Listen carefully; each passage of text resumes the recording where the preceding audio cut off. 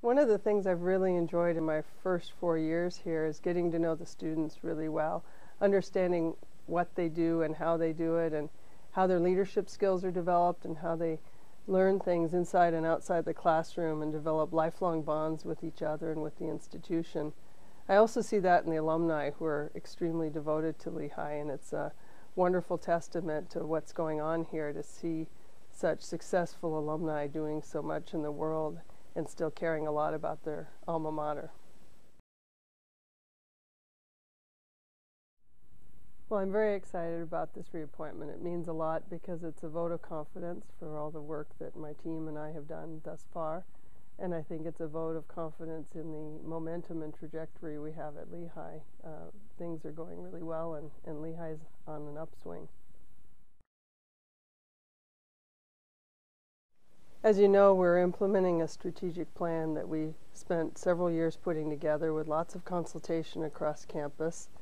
And we have a lot to do to get that done. So over the next few years, we'll be uh, working hard on engaging every student and the student experiences.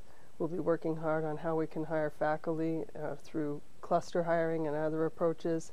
We'll be working hard on our engagement with the community and on building our research and graduate programs and strengthening our footprint in the intellectual community.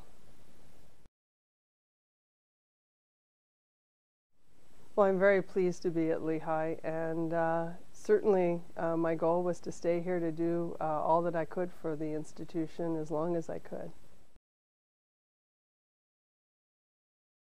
What attracted me to Lehigh was the way that Lehigh truly integrates its teaching, research, and service mission.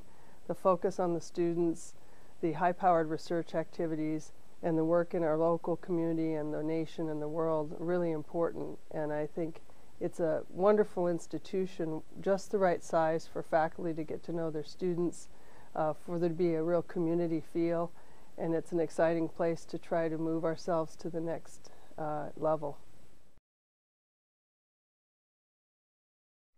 I think the Board of Trustees sees the work we've been putting in and the momentum we have, and it's a real vote of confidence to uh, not only me, but to my leadership team for all the hard work and all the work that the faculty and our colleagues are doing uh, to increase Lehigh's visibility and to move us to the next level.